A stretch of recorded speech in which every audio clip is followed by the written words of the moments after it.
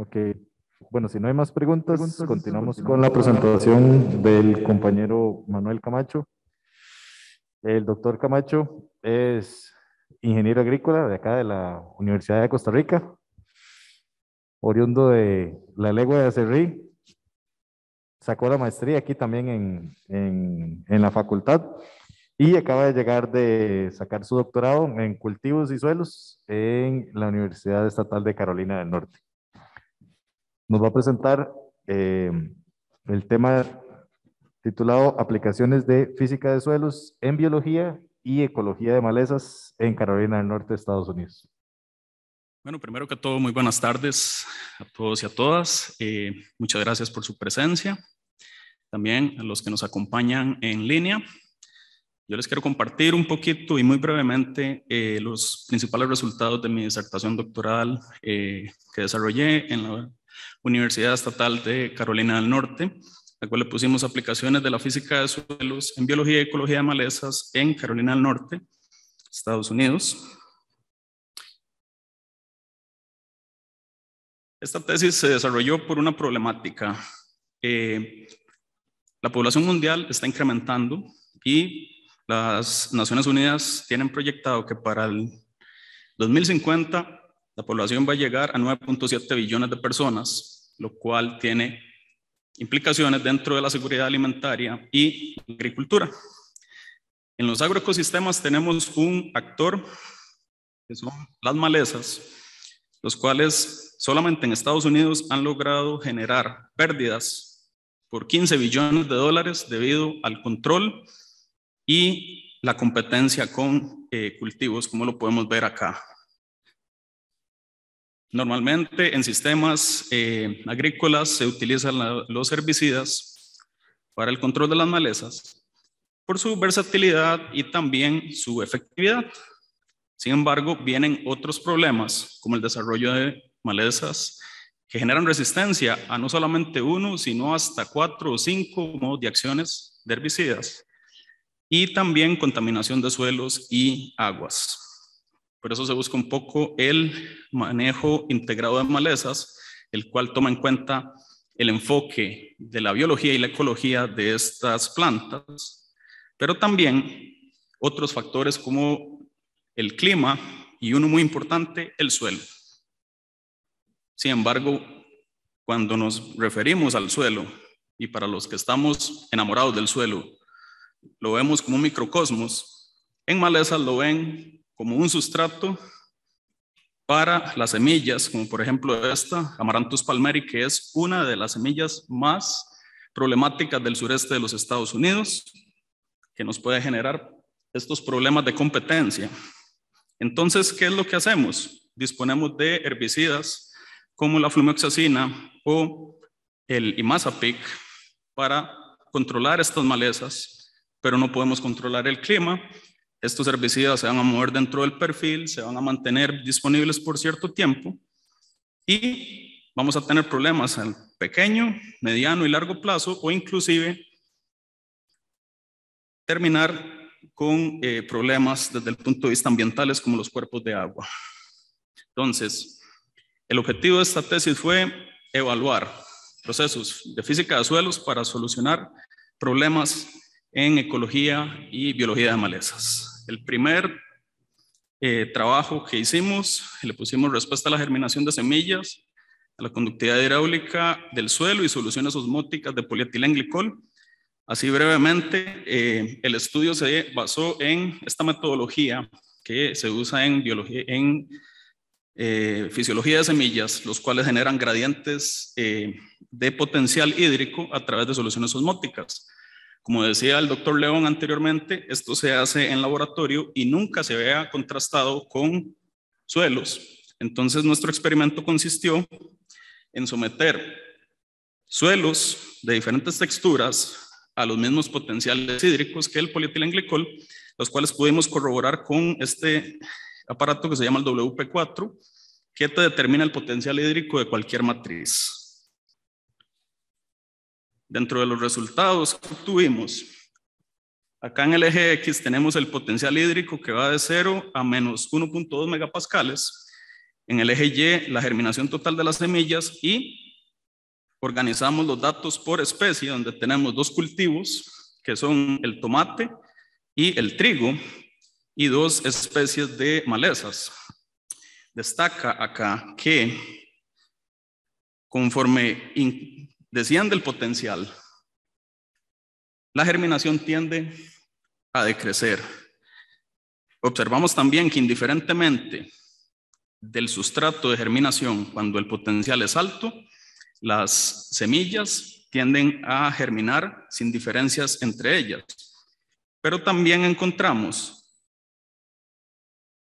eh, resultados bastante interesantes como el trigo, que indiferentemente del potencial hídrico, la germinación siempre fue alta en polietilenglicol, aunque en los suelos fue otro comportamiento. Entonces, para lo que fue el suelo, propusimos calcular la conductividad hidráulica en estado no saturado debido a que teníamos suelos con diferentes potenciales y encontramos una respuesta mucho más consistente de la germinación total a la conductividad hidráulica a través del modelo Gompers con valores de R cuadrados entre 0.6 y 0.81. Pero entonces nos surge la duda, ¿por qué pasa esto? Bueno, cuando comparamos una solución osmótica de polietilenglicol contra una matriz tan compleja como es el suelo, tenemos varios problemas. Primero, el tipo de succión que ejerce el polietilenglicol es más que todo osmótica, mientras que en el suelo la succión matrical es muy compleja porque involucra el componente gravitacional, el de presión, si tiene sales el osmótico y también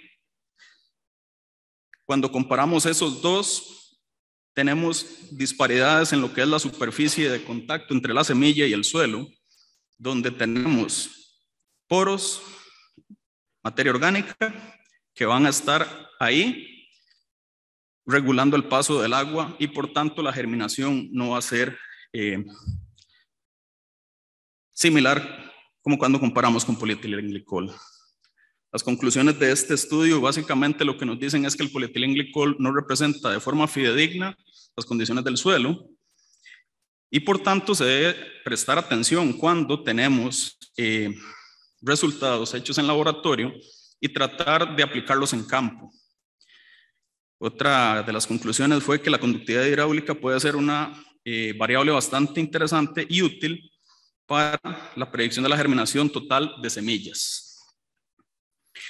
El segundo estudio que realizamos se denominó el modelado del transporte lateral de solutos en un suelo anisotrópico bajo condiciones dependientes mediante hydrus, un caso de estudio en césped comercial. Para darles un poco de contexto, en los campos de golf, que es uno de los mayores negocios desde el punto de vista de crop science en Estados Unidos, cuando se controlan las malezas en los greens o los campos de golf que están en pendiente, se aplica el herbicida, pero se observa que hay daño del pasto en las partes más bajas de la pendiente. ¿Qué se espera? Que sea por escorrentía, no es escorrentía porque si no todo el pasto estaría completamente quemado. Entonces se ha tenido la hipótesis de que es un flujo preferencial o un flujo lateral que baja hasta el sitio de deposición. Otros estudios han hipotetizado que cuando el suelo tiene anisotropía textural, como en este caso que tenemos un E sobre un BT, se puede generar un flujo preferencial por el cual se podría mover solutos. Entonces, lo que queríamos con este estudio es contrastar la observación de este fenómeno y ver si esta hipótesis puede explicar estos, eh, estos daños a través de, de los herbicidas. Establecimos un experimento de campo en el cual aplicamos una solución marcadora o un tracer en el centro de la parcela monitoreamos el contenido de humedad a lo largo de toda la parcela para que fuese en condiciones uniformes. Aplicamos una lámina de riego para ayudar al marcador a que ingresara al suelo y de ahí estuvimos tomando muestras cada cierto tiempo para monitorear el avance del marcador.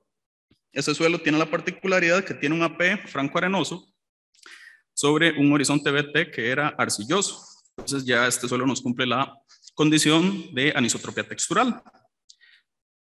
Caracterizamos muy bien las propiedades físicas del suelo como la retención de humedad, conductividad hidráulica, eh, porosidad total y utilizamos toda esa información para modelizar esto con Hydrus. Hydrus es un modelo numérico que nos permite hacer cálculos complejos como el movimiento de agua en el suelo, la ecuación de Richards o la ecuación de advección-dispección que explica el movimiento de solutos. Entonces estuvimos muestreando esos suelos y también alimentando ese modelo. Una de las cosas que hicimos fue eh, mostrar esos resultados en 2D. Esta sería un plano superficial de la parcela, donde el círculo blanco sería el área de aplicación. Tenemos dos días de muestreo, cinco días después de la aplicación y 46 días después de la aplicación, y tres profundidades. Una cosa que notamos es que a los cinco días el marcador se había movido siguiendo la gradiente del suelo y había un poco de movimiento vertical, pero no era tan eh, grande desde el punto de vista de concentración del marcador. A los 46 días observamos un movimiento similar con unas concentraciones menores por la disipación, pero esta vez el movimiento cambió de forma radial. ¿Esto que nos dice? Que el marcador realmente se está moviendo a través de la gradiente por el límite entre el horizonte AP y el BT.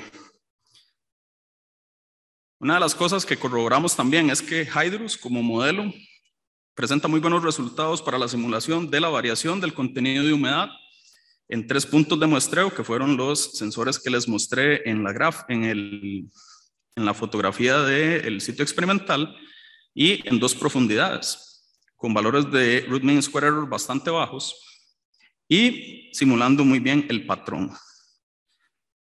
Una vez que vimos estos resultados, eh, procedimos a simular el movimiento del marcador, el cual generamos en una gráfica en dos dimensiones con la profundidad del suelo y las dimensiones de la parcela para tres días de muestreo y un modelo por defecto y otro modelo calibrado, que la calibración del modelo lo que consiste es en el ajuste de variables que se ingresan dentro de ciertos ámbitos para mejorar la precisión del mismo.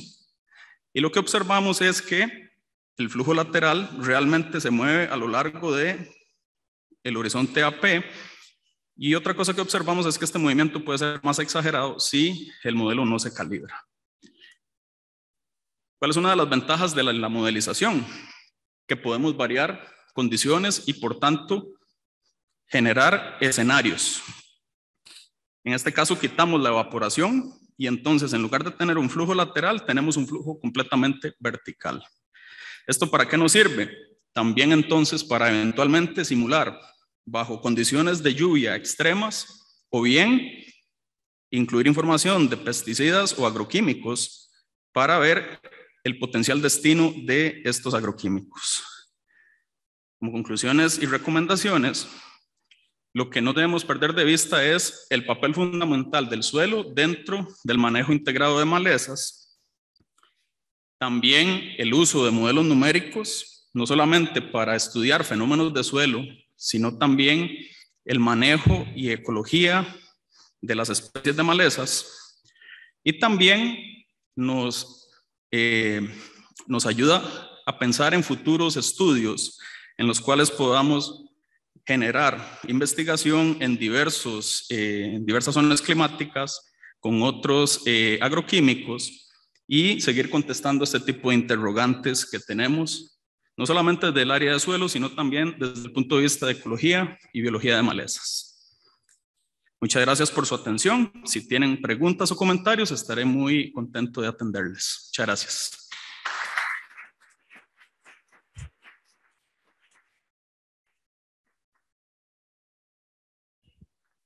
¿Alguna pregunta para el doctor Camacho?